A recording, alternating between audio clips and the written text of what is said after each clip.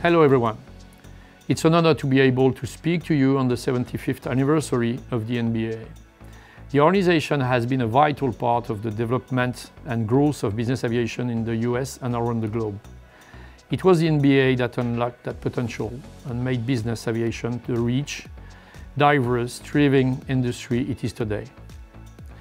Through its leadership, industry and the government came together to advance common goals all across our ecosystem. We have started the journey toward clean aerospace. And again, the NBAA will play a critical role in bringing the industry together to design greener aircraft and build the infrastructure to enable a new energy ecosystem. At Airbus, we are convinced that carbon neutral air travel is not only possible, but achievable in our lifetime.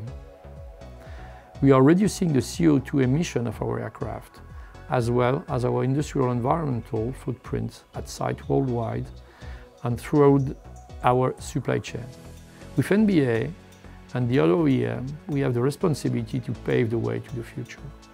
Right now, all Airbus aircraft and helicopters are certified to fly with an up to 50% blend of sustainable, sustainable aviation fuel. Our goal is to achieve certification of 100% SAF by 2030. We are also working to deliver on our ambition to bring the world's first zero-emission aircraft to market by 2035 and it will benefit to all our ACJ customers. On behalf of all my colleagues here at ACJ, we look forward to working with the NBAA over the next 75 years to build a sustainable and safe future for business aviation. Thank you very much and see you soon at NBAA.